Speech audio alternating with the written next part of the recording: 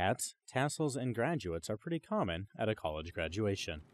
What you may not see every day are graduates from multiple schools coming together, which is exactly what happened at the Naples Navy College office's annual college graduation ceremony. My message to you is very simple. First, do not be afraid of the unknown or change. Embrace them with gusto.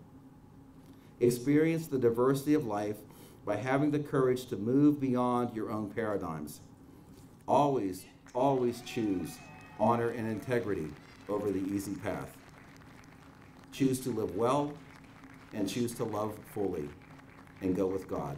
For one graduate, the road to a degree was long, but perseverance prevailed. As I said, I'm a slow learner, but one thing about that someone had observed about me is stickability. I, I stick on it and I, I never gave up. 180 graduates left the ceremony with diplomas in hand. They walked away with more than just a diploma, though. They made progress in both their personal and professional development. Airman First Class Levi Rouse, Naples, Italy.